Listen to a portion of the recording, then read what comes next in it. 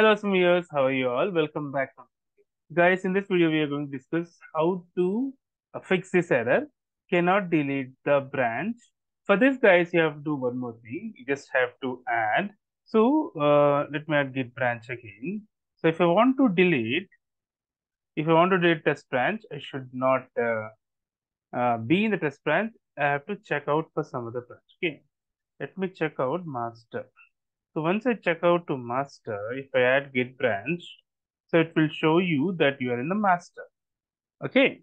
So now you have to add git branch. Now you can delete the branch. So you can use this command. So yeah, copy this, paste it here. This yeah, the branch is has been deleted. Okay. Hope you like the video, guys. If you like the video, please click on like. If you're new viewer, please subscribe. Till then, guys, take care. Have a great day. Bye bye.